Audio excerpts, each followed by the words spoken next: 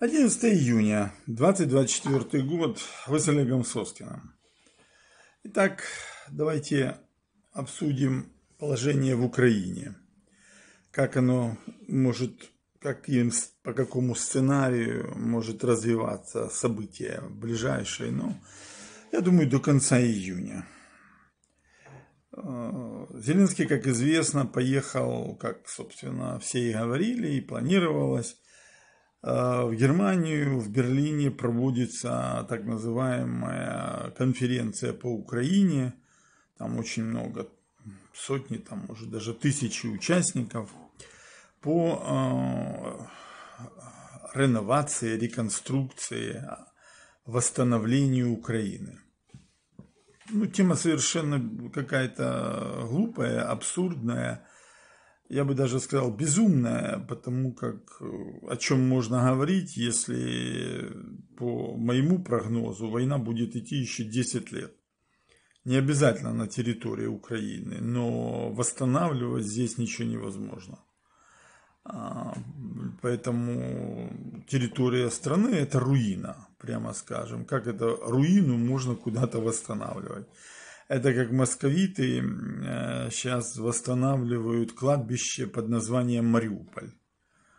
Там погибли десятки тысяч людей, а они там типа восстанавливают дома, там, ну такое вот это поверхностное обновление, там какие-то работы делают, но вся энергетика некроза, энтропии смерти, она в полном объеме там стоит.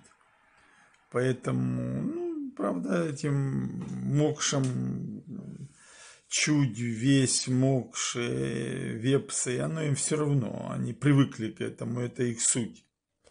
Но для нормального понимания, конечно, Мариуполь это город смерти, он таковым и остался. Поэтому там Ленинград, Санкт-Петербург, так называемый, это тоже город смерти он ничем не, не изменился. Как был город смерти после Второй мировой войны, он такой и остался. После первой этой большевистско-коммунистической революции. Это такой реальный город смерти. Поэтому они и стали побратимами. Ленинград и Мариуполь.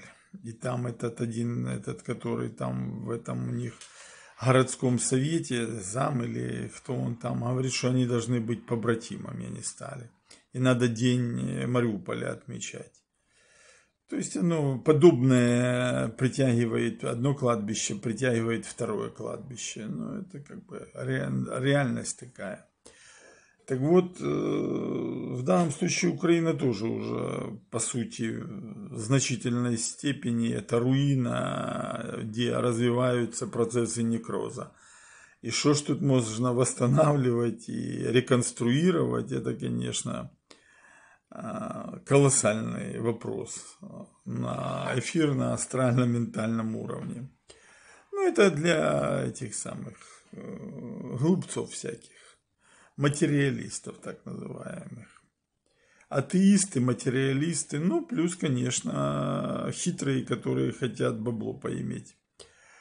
Вот. И известно, что в этот же период Зеленский туда поехал, там целая с ним делегация. И в этот же период э, устранили, собственно, Наема, и он входил, они были, эта группа с Курбаковым. То есть это была отдельная группа, которая была связана с американским посольством в Украине, с этой Бринкин или как там ее, с другими там, с немцами, ЕС. Ну, то есть это было другое направление. Поэтому победило направление, которое монополизировать хочет все деньги, которые должны типа потом зайти в Украину. Грэм заявил, этот, да, Грэм же этот, или как там он называется, этот э, сенатор США, говорит, что украинцы сидят на десятках там триллионов э, долларов разных таких всяких полезных ископаемых. Ну, говорит, так надо же к этому как-то, чтобы США приобщилась. Вот, и, типа Украина станет центром процветания. Да? А, какого процветания, каким центром? Центром кладбища – это другое дело на евразийском континенте. Тут как бы более-менее понятно.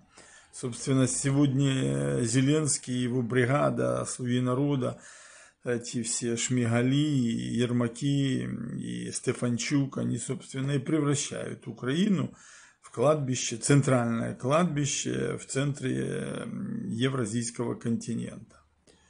Ну и Зеленский поехал туда рассказывать, какие большие преимущества есть у этой территории руины, некроза, некрофилии, энтропии, как кладбище, как можно тут красивые могилы поставить, памятники и так далее. Встретился с Шольцем, это неудачник, это лузер политический, который все проиграл вместе с своим светофором с партией зеленых и свободных демократов, из его партии.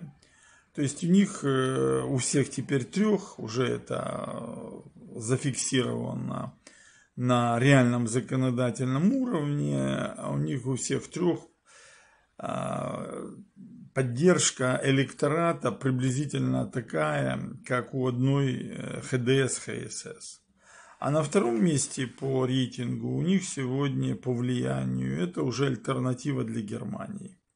И это объективная реальность. То есть Шольц уже не играет э, как бы первую, первую роль главную роль. Он просто уже отыгранная почти э, карта политическая. Вот Зеленский поехал к нему, они там встречаются, говорят, обсуждают. Шольц сказал, будут переданы там в течение нескольких недель, классно так сказал, нескольких месяцев будут переданы там еще дополнительные установка Патриот, Айрис, там еще что-то там и так далее, Гепарды там. То есть, э, как бы правительство этого светофора, оно э, вот в таком направлении раз, развертывания, раскручивания этой войны, ну не войны, а мясорубки, это мясорубка, это ж не война, это кровавая мясорубка. Они, Германия, нынешнее руководство, оно четко придерживается этих позиций. Сможет ли правительство Шольца долго быть у власти? Вот это главный вопрос. Если посмотреть выступления уже лидеров вот этой Вайдель альтернативы для Германии и того же Мерца, ХДС, ХСС и премьер-министра Баварии, лидера ХСС, то они говорят одно, что надо проводить выборы. Шольц сказал, проводить не будет, но он имеет право до следующего года, то есть они в 2025 году должны быть. Но все параметры показывают, что до 2025 года светофор не доживет. Он уже испортился, барахлит, и то так мигает, то сяк подмигивает. Поэтому я полагаю, что это будут где-то сентябрьские выборы, вот, которые будут в землях.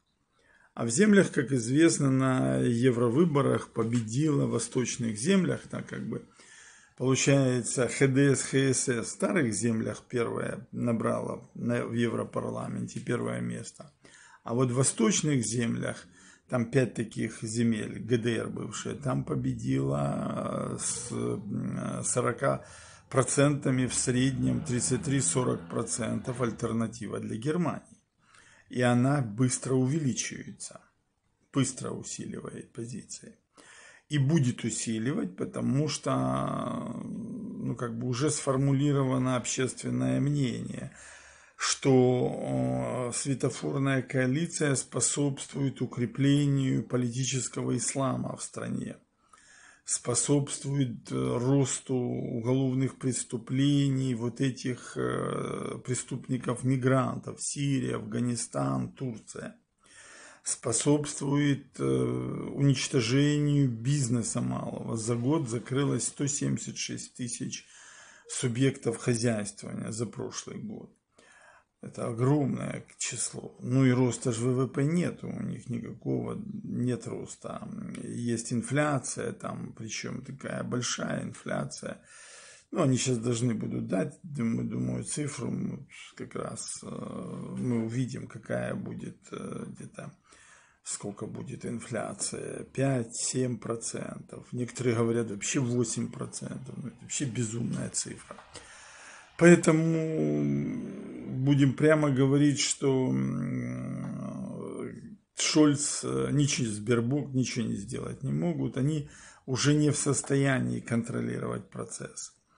И сейчас начнется очень их жесткая критика через э, внутри страны, и постепенно начнется критика их через Европарламент.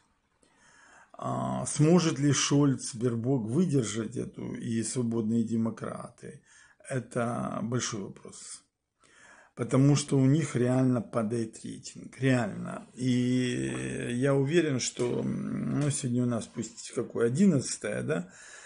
Ну, например, там через дней 10 сделает вот это Инса, делает у них очень хорошие э, замеры, соцопрос.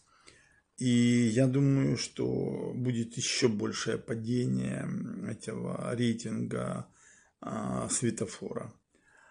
И уже будут более такие жесткие акции. Плюс вдруг какой-то черный лебедь э, прилетит. Но девочку ж так и не нашли с Украины, которая пропала, когда пошла в школу.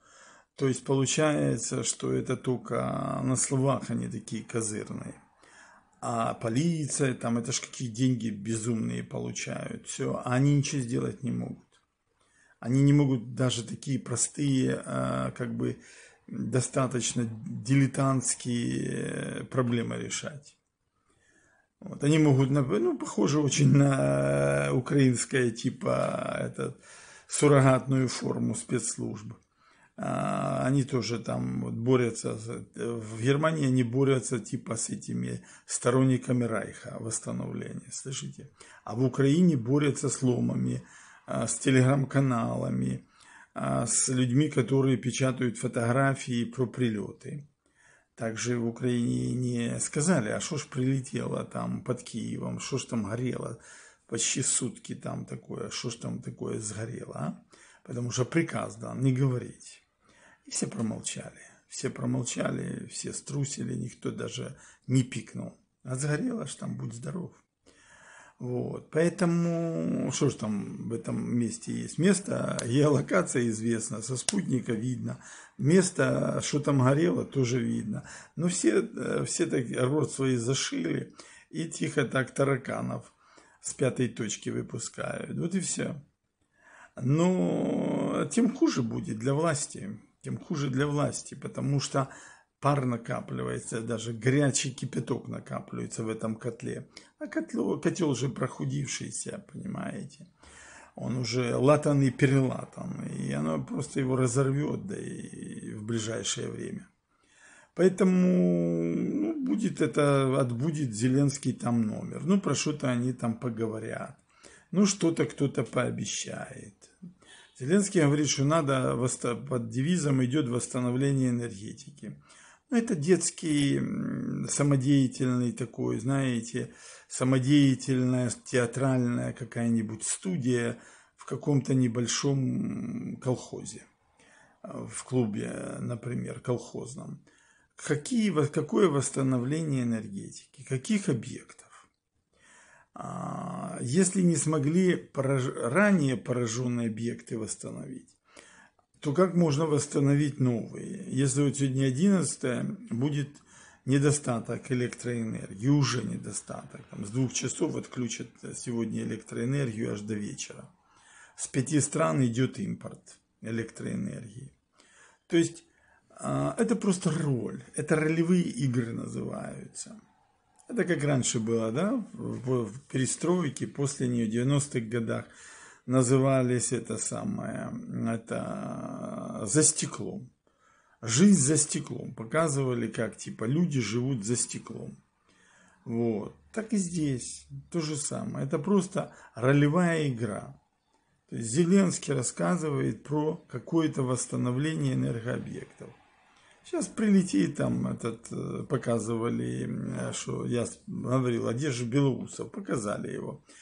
А, пришел он в этот, э, в госпиталь куда-то, правда не называют, какой госпиталь, но был 10 числа в госпитале, награды давал. Так себе выглядит, конечно, как-то так, вот, так, бледненько, я бы так, мягко говоря, сказал, бледненько. Но голова у него работает, поэтому он должен сейчас какой-то приказ Путина выполнить по ударам по объектам новым. Поэтому сегодня дело, ну как раз там новая сегодня как раз огромная магнитная буря, там еще какие-то вещи происходят там в звездном. Какой-то идет радиосигнал Австралии, в Австралии там обсерватории фиксируют. Идет радиосигнал со Вселенной. Что это за сигнал? Никогда такого не было. Он идет и идет. Поэтому я думаю, как раз 12.06, 2024, 13.06. То есть как раз такой хороший будет период для нанесения ударов. Видимо, они сейчас просчитывают, что, куда надо ударить, что надо уничтожить, какие еще энергетические объекты надо уничтожить, чтобы уже начался реальный блэкаут они понимают, что реальный блэкаут в Украине, он приведет к хаосу, энтропийному хаосу. То есть полной дезорганизации. А, ну и краху всех государственных структур. Однозначно. Прежде всего, конечно, вот этого всего учета так называемых военнообязанных. То есть эти системы будут поражены, электричества не будет, какой, какой, какая мобилизация. Поэтому, в принципе, как бы Белоусов на это, видимо, и поставлен. То есть использовать а, какие-то более тонкие, более сложные механизмы, которые бы а, разрушали именно Украину как э, систему воспроизводства капитала, как э, субъект по, произ... по воспроизводственному процессу. Хотя он уже не на расширенной основе, даже не на такой, как был, а он уже идет на суженной основе, но идет. Поэтому, видимо, поставлена задача просто его уничтожить, чтобы не было вообще никакого воспроизводственного процесса. А, поэтому я полагаю, что как бы вот на это будут все силы сейчас направлены. Ну и надо же добиться фиаско этого э, как его, швейцарского а, Лозанского форума. Вот это самое главное сейчас. Ну давайте посмотрим. То есть Зеленский в Берлине рассказывает, какие прекрасные зияющие высоты впереди Украины – вот, впереди еще, сегодня какой, 24 год, да, ну еще минимум лет 9-10 будет увеличиваться руина. А Зеленский говорит, что будет реновация, восстановление, ренессанс будет, да. Как этого, как у Макрона и у Шольца сейчас будет ренессанс. Вы с Олегом Соскиным на моем канале больше. Соскин News смотрите. До новых встреч.